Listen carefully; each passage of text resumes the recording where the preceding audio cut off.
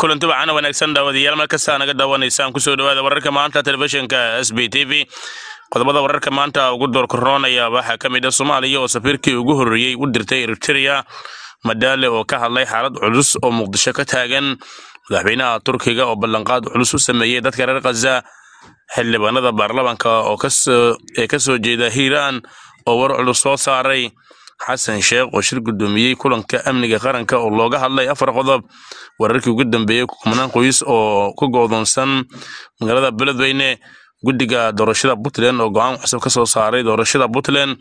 Axmed oo tallaabo qaaday kadib xaalad ka soo korortay jubbaland taliska danab ee puntland oo u jawaabay saciid deni isaga oo dembiile ah. Ciidamo loo diyaariyey soo afjaridda shabaab oo la soo bandhigay wararkii ugu dambeeyey ee marinka khaza iyo israa'iil qodobadaas iyo kuwo kale oo dhammaystiran u diyaar garoowa waa maalinimo nimo axadda taariikhdu ay ku beegantahay sagaal iyo tobanka bisha nofembar labada kun iyo saddex iyo labaatan kun u soo dhawaada qodobadaas oo faahfaahsan. Dowladda soomaaliya ayaa safiirkii ugu horreeyey ee abid u dirta waddanka eritrea waxaana loo magacaabay cumar idriis oo horey u ahaa safiirka qatar. Danjire cumar idriis waxaa waraaqadihiisa aqoonsiga ka gadoomay jimcihii la soo dhaafay madaxweynaha dalka eritrea siyaasi afarki sidoo kale cumar oo qoraal kooban soo dhigay bartiisa twitterka ayaa ka hadlay xilka loo magacaabay isaga oo sheegay inay sharaf u tahay inuu noqdo safiirkii ugu horreeyey ee soomaaliya u fadhin doona eritrea. Dhinaca kale wasiirka warfaafinta eritrea ayaa sheegay in cumar idriis uu ka mid ahaa toddobiyo toban danjire oo uu madaxweyne afarki ka gadoomay waraaqadaha aqoonsiga jimcihii xiriirka soomaaliya iyo eritrea ayaa xoogeystay sanadihii ugu dambeeyey gaar ahaan intii uu xafiiska joogay madaxweynihii hore ee dalka maxamed cabdulaahi farmaajo oo isbahaysi saddex geesood ah ay samaysteen isaga abiy axmed iyo isayaas afarki guddoomiyaha gobolka banaadir yuusuf madaale ayaa qabtay shir jaraa'id ayaa ka hadlay xaaladda fatahaadda fatahaadaha gaar ahaan muqdisho oo dadka ku nool ayaa uga cabanayaan maamulka sidoo kale guddoomiyaha ayaa sheegay in magaalada muqdisho aysan ku dhiman hal qof waxaana xusid mudan in beledweyne iyo degmooyinka kale oo ka tirsan gedo ay daadadku dad badan ku dileen. Guddoomiyaha ayaa ballan qaaday in maamulka gobolka banaadir uu la imaan doono qorshe magaalada laga dhaafi lagu dhaafi karo lagu dhaafin karo biyaha oo fadhiista guryaha waddooyinka iyo meel kasta oo god ah ugu dambeyntii guddoomiye madaale ayaa waxa uu ku tacsiiyey dadkii ku hantabeelay dabkii xalay ka kacay suuqa weyn ee xamarweyne halkaas oo hanti badan ay ku gubatay qaar ka mid ah xildhibaanada baarlamaanka federaalk soomaaliya ee ka soo jeeda gobolka hiiraan oo shir jarayd ku qabtay magaalada muqdisho ayaa ka ayaa ku baaqay in loo gurmo dadka reer beledweyne oo ay daadadka ku dhufteen. Dadkii ku noolaa magaalada beledweyne ayaa gebi ahaanba isaga qaxay magaalada oo ay harqiyeen biyo ka soo fatahay webiga shabeelle xildhibaanada oo mid mid ula hadlay warbaahinta ayaa dowladda federaalk iyo beesha caalamka ka codsaday in dadkii ka qaxay beledweyne loo gurmado maadaama ay ku jiraan nolol adag oo hantidoodii iyo hoygoodii ay biyo dhaafiyeen. Wasiirkii hore ee waxbarashada soomaaliya cabdulaahi goodax barre oo ka mid ah xildhibaanada hadlay ayaa yidhi waxaan codsanaynaa wixii loogu talagalay dadkaas fatahaaddu saamaysay in gacantooda mid ahayn aysan ku dhicin. Madaxweynaha jamhuuriyadda federaalk soomaaliya ahna taliyaha guud ee ciidanka qalabka sida xasan sheekh maxamuud ayaa shalay guddoomiyey shirka guddiga amniga qaranka.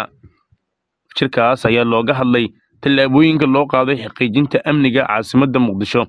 oo si gaara loogu gorfiyey shirkan. Sidoo kale madaxda amniga qaranka waxay shirkan uga hadleen dib u dhiska ciidamada qaranka oo hadda meel fiican soo gaartay. Arrimaha kale ee diiradda la saaray waxaa ka mid ah xoreynta deegaanada ku jira gacanta argagixisada iyo qorshaha soomaaliya. Sidoo kale mas'uuliyiinta amniga qaranka soomaaliya waxay shirkan ugu tashanayeen nooca warbaahinta la horgeynayo. Shir ay dhowaan dowladda soomaaliya la yeelan doonto qaramada midoobey iyo midooda afrika. Shirkaas waxaa looga hadlayaa amniga soomaaliya gaar ahaan hanaanka ay dowladda soomaaliya ula wareegayso amniga qaranka. Wararka naga soo gaaraya gobolka hiiraan ayaa sheegaya in weli xaalad adag oo dhanka nolosha ah ay ka taagan tahay gudaha magaalada beledweyne kadib markii ay ku fatahay webiga shabeelle ee dhex mara magaaladaasi. Fatahaadda ayaa saamaysay afarta xaafadood ee beledweyne waxaana ay geysatay khasaarooyin baaxad leh iyadoo inta badan dadka deegaanka ay barakaceen. Sidoo kale waxaa jira qoysas kumanaan ah oo weli ku go'doonsan magaalada oo si weyn looga dareemayo fatahaadda iyadoona loo maleeyo bad marka la eego biyaha mid ka mid ah dadka deegaanka oo la la- oo lagu magacaabo cabdi shimaale ayaa la hadlay warbaahinta waxaana uu sheegay in aysan haysan huy ay ka galaan dhaxanta iyo wax kasta oo dhib u keeni karaa nolosha bini'aadamka. Qayladhaanta ka soo yeeraysa reer beledweyne ayaa ku soo aadaysa iyadoo dowladda dhexe ay haatan waddo gurmad loo fidinayo. Dadka ay waxyeelada ka soo gaartay fatahaadda. Guddiga doorashada puntland ee b e c oo maanta shir jareed ku qabtay garoowe ayaa go'aan cusub ka soo saaray. Doorashada maamulkaasi oo ay weli ku muransan yihiin xubnaha mucaaradka iyado iyo sidoo kale madaxweyne deni guddiga doorashada puntland ayaa shaaca ka qaaday in mabda' ahaan ay isla qaateen in maanta ay qabsoonto doorasho qof iyo codda taas oo ah wax isku hayaan labada dhinac. Gudoomiyaha guddiga oo shir jareed ku qabtay garoowe ayaa sheegay inay ka go'an tahay in la sii wado hannaanka doorashada si loogu gudbo xaalad kala guur ah. Sidoo kale gudoomiyaha ayaa sheegay in shaqada ugu horreyso oo ay qaban doonaan ay tahay diiwaangelinta codbixiyaasha ayna bilaabayaan lix iyo tobanka disembar maxkamadda darajada koowaad ee ciidamada qalabka sida ayaa mar kale shalay u fadhiisatay dacwad ka dhanna toban ruux oo loo haysto inay ka tirsan yihiin al-shabaab ayna qaarkood tababar ka soo qaateen buuraha galgala ee puntland. Raggan ayaa sidoo kale ka soo dagaalamay meelo kala duwan ayaa la qabtay iyaga oo safar u sii ah dhulka buuraha silsiladda ah ee puntland si halkaas ugu soo dagaalamaan waxaa sidoo kale qaar ka mid ah eedaysanayaasha loo haystaa in ay ka soo dagaalameen deegaanada ceel leheley sindhiqo bacaadweyne iyo qalqalgelinta amniga caasimadda duursmareeb ee galmudug baaraha kiiskan oo maxkamadda sharaxaad siinayey ayaa sheegay in baaris dheer oo ay sameeyeen ay ku ogaadeen in toddoba ka mid ah eedaysanayaasha ay u socdaan u socdeen buuraha galgala. Si halkaas uga dagaalamaan al-shabaabna ay ku biiraan bishii lixaad ee sanadkan. Turkiga ayaa dadaal ku bixin doona dib u dhiska kaabayaasha burburay isbitaalada iyo iskuullada khaza haddii xabad joojin laga gaaro halkaas madaxweyne rajab tayyip erdogan ayaa warbaahinta turkiga maanta u sheegay ka shaaciyey ballanqaadkan. Madaxweynaha ayaa hadalkan jeediyey isagoo ku jira diyaaraddii uu kaga soo laabtay safar uu ku tagay jarmalka halkaasoo uu wadahadallo